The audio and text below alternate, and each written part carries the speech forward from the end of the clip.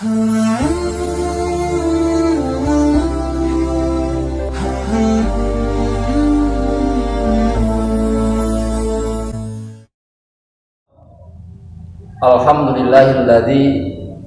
ala ni'amihi zahirah wa batinah.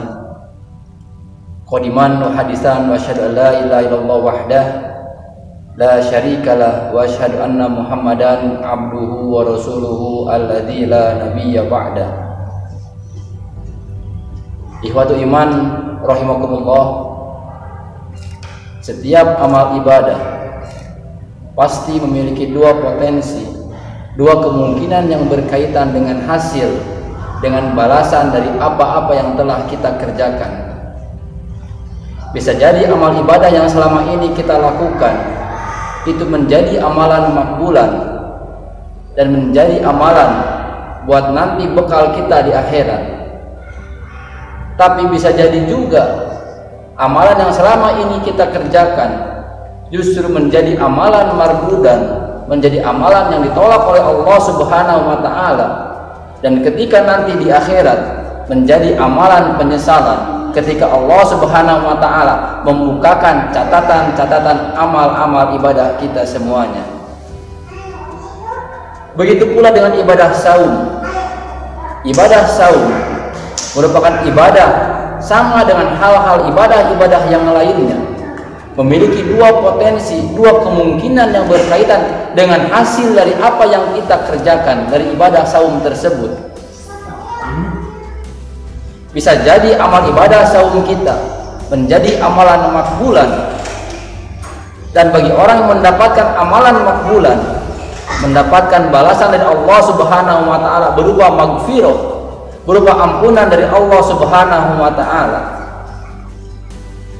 Sedangkan bagi orang-orang yang gagal dalam melaksanakan ibadah saum, dia tidak mendapatkan apa-apa dari ibadah-ibadah saumnya tersebut Bahkan Rasulullah Shallallahu Alaihi Wasallam bersabda, "Kam min imin laisa lahu min siyamihi ilal ju'i wal atos." Berapa banyak orang-orang yang melaksanakan ibadah saum, tapi sayang dia dalam melaksanakan ibadah saum tidak mendapatkan apa-apa dari ibadah saumnya tersebut, ilal ju'i wal atos, kecuali hanya mendapatkan lapar dan dahaga saja. Bahkan lebih jauh lagi, Allah Subhanahu wa taala berfirman dalam hadis qudsi Rasulullah sallallahu alaihi wasallam bersabda Bu'dal liman adraka Ramadana falam yughfar lahu Celaka bagi orang-orang yang datang kepada bulan Ramadan melaksanakan ibadah-ibadah di bulan Ramadan falam yughfar lahu. Tetapi dia tidak mendapatkan magfirah dari Allah Subhanahu wa taala. Kita mengetahui bersama bahwa fadilah keutamaan bahwa balasan bagi orang-orang yang sukses dalam melaksanakan ibadah di bulan Ramadan baik itu saum di bulan Ramadan baik qiyamul Ramadan ataupun itikaf menghidupkan malam Lailatul Qadar Allah Subhanahu wa taala memberikan reward memberikan balasan. Ghufirallahu ma taqaddama min danbi tetapi bagi orang-orang yang gagal dalam melaksanakan ibadah-ibadah di bulan Ramadan saum Ramadan Qiyam Ramadan dan menghidupkan malam Lailatul Qadar dia tidak mendapatkan magfirah dari Allah Subhanahu wa taala.